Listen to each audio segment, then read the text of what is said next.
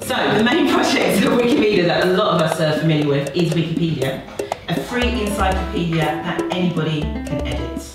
So all of us here this morning will have, be having a go at editing Wikipedia. My favourite part of being an ancient historian yeah, or ancient history in general is the fact that ancient history is an unsolvable puzzle. That everybody get everybody gets their little bits and you shuffle the jigsaw around and you put your bits in and you figure out how it fits together and sort of make your little bit of the picture.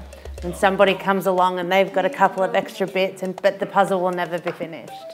I actually just did uh, one person who was Miriam Griffin, who interestingly had a presence on Wikipedia already as the wife of her famous husband uh, and was one of the, uh, I now realise, infamous red links um, from the talk. And I just wanted to turn that into a blue link, really, because I remember reading her book on Nero as an undergraduate. Um, and I think it's probably on reading lists everywhere still for anyone dealing with the Julio-Claudian emperors.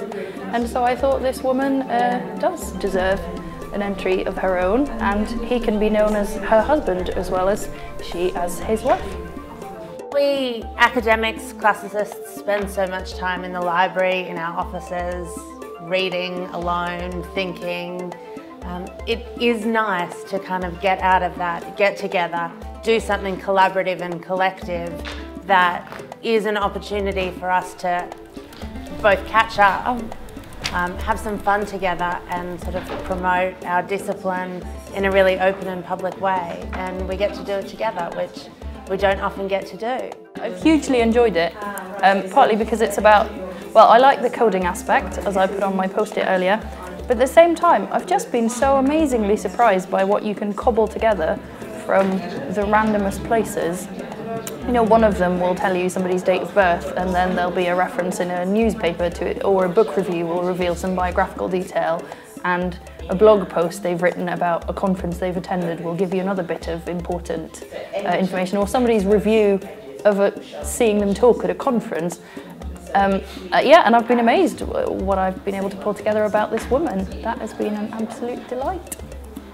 Um, and at the same time, although we all use Wikipedia, I think without events like this, it would be hard to spot the classroom potential if you don't know that much about what goes into it. It's harder to see how you could use it as a tool. But, but now, yeah, ideas. Ideas are brewing. It's good. Yeah. Yay!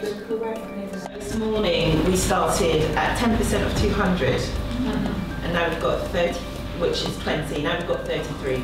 That is too much for my math skills to work out the, the percentage, but it's it's uh, considerably increased. And you did that just in, or you did that just in one day. Yeah. Yeah. Yeah. So imagine the difference you can make, even with a couple of hours a month. Yeah. It will make a huge impact.